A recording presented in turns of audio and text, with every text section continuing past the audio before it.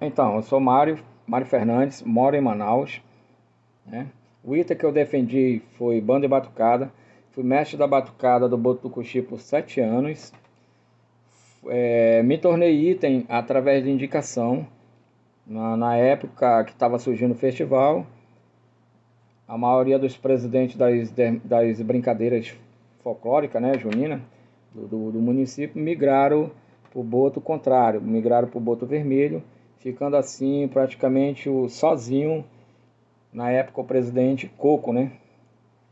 E acabaram me indicando para me ajudar o Coco. Eu como músico, eu indiquei, eu, eu ajudei na parte que, que, que eu sou profissional, né? Na parte musical, criando assim a nossa batucada. Vale ressaltar que a nossa batucada ela era toda composta por por batuqueiro mesmo de Maranhão.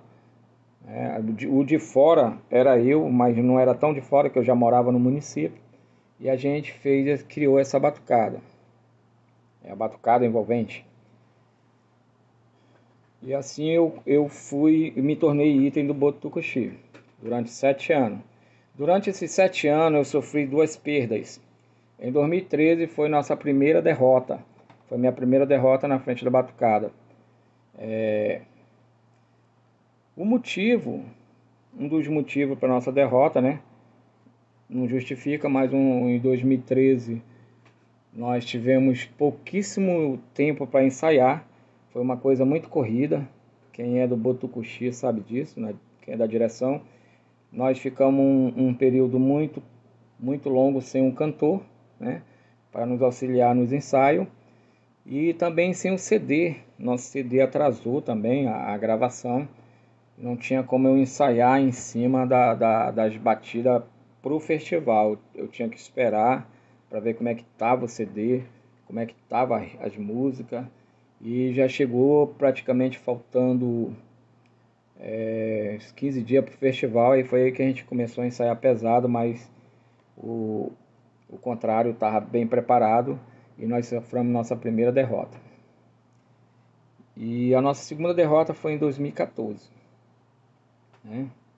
Falando em 2014, o meu melhor ano, o que ficou marcante na minha vida até hoje, apesar da derrota em 2014, foi 2014. O festival de 2014 para mim foi o melhor ano, que foi o tema no Teatro Caboclo da Vida, que eu representava ali naquele espetáculo, naquele teatro Caboclo da Vida, eu era o maestro daquela sinfonia, né?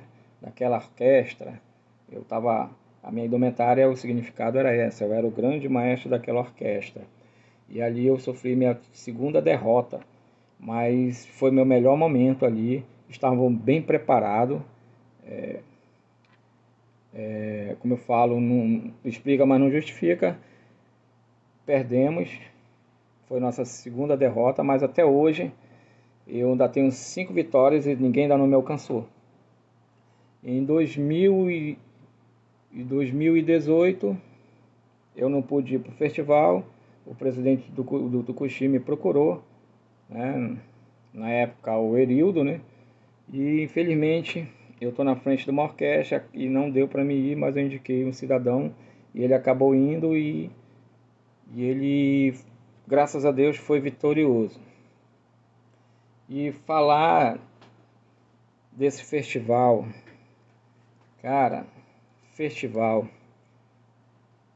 festival de Maranhão, se ele não parasse, hoje era um dos maiores festivais do estado do Amazonas, se não dizer o segundo maior festival, porque estava ganhando naquela época uma proporção muito enorme nós estávamos evoluindo muito, as duas associações estavam evoluindo muito, né? Então, infelizmente, teve essas paradas e prejudicou. É, em relação à a, a, a, banda, a batucada, na época nós, nós iniciamos em 2006 com 90 componentes, né? Levamos para a arena 90 componentes. Em 2007 nós fomos com pouco mais de 90 componentes. Em 2008 nós chegamos a 100 componentes. Nós botamos 100 componentes na arena.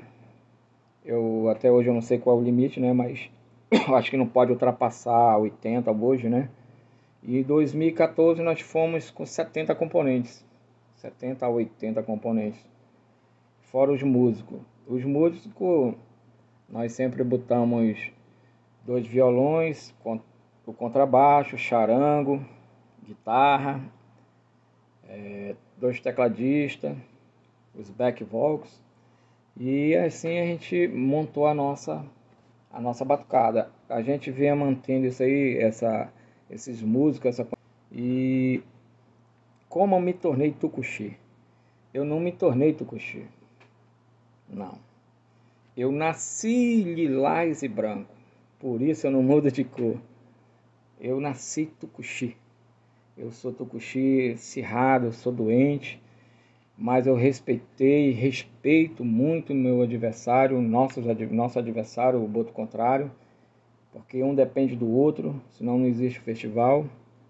E eu amo esse boto. Eu tenho até hoje é, uma, uma grande paixão para esse boto, uma imensa consideração. É, marcou muito na minha vida esse festival até hoje eu conto histórias reais para os meus músicos aqui em Manaus, né? Histórias reais desse festival, histórias reais dos nossos ensaios. É, nossos ensaios que começavam às 22 horas e acabava 2, 3 horas da manhã. Então eu dou muito exemplo para o meu músico desse festival. Até porque é mais de 20 músicas para a gente ensaiar menos de 40 dias. Isso é um recorde, entendeu? E, e eu digo mais, é, eu deixo aqui uma mensagem para as autoridades, os representantes do, do município de Maran, que não deixe esse festival parar. Retorne esse festival.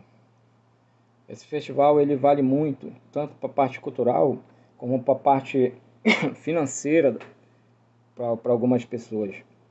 Ele leva renda, leva cultura, leva conhecimento, leva divulgação do município, da cidade de Marã, para demais, os demais municípios, até aqui na capital.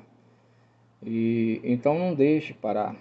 Faz falta, faz demais, os demais municípios, até aqui na capital. E então não deixe parar. Faz falta, faz falta na cultura no divertimento da população. É, no período do, do, dos ensaios, há muitos profissionais, muitas pessoas também que, que estão parados, acabam, acabam arranjando aquele trabalho naquele pouco espaço, mas tem um trabalho. Então, é, prejudica muito. Entendeu? Prejudica muito. Então, eu espero que, que esse festival retorne e até eu também quero matar a saudade. O meu sonho, o meu sonho é um dia ir assistir o Festival de Maran, até porque eu nunca assisti, eu só assisto através de, de DVD, porque eu passo o festival todinho de costa o espetáculo, né? E eu, eu nunca assisti o festival ao vivo. Então meu sonho é um dia assistir. Eu falando até um período aí com um amigo meu, também de Mará, que eu disse que eu não sei o que, que vai acontecer comigo quando eu estiver ali assistindo num camarote o, o festival e a batucada do Tucuxi entrar. Eu acho que eu vou me desmanchar de choro ali, de emoção, de ver aquela batucada que eu criei entrando ali e eu assistindo pela primeira vez. Então eu deixo aqui minhas considerações a todos. Eu agradeço aí o o nosso escritor aí, o nosso escritor Eros, Eros também que foi o temático de, de muitos festivais, de, muitos, de muitas edições do Boto. Então fica aqui o meu agradecimento por esse espaço, não deixando essa cultura morrer, né? resgatando esse resgate que o Aeros faz através aqui desse, desses vídeos, né? Desses, dessas histórias, histórias reais do Boto, do festival. E isso aí fica. Então, desde já eu agradeço muito o Eros Alfaia por esse trabalho mar maravilhoso pelo profissional que ele é e a todos os itens aí que também ouvi, dando, dando a sua colaboração através de entrevista, eu vi também itens novos que eu não conheço, mas já, se, através desse trabalho do Eros eu passei a conhecer um pouco da história do, dos novos itens aí que integraram no Boto. E desde já, meu muito obrigado, que Deus abençoe. E é isso aí, Maran, para todo mundo ver. Terra Cabocla, no Teatro Caboclo da Vida. Cidade Encantada do Boto. Cara, valeu Maran.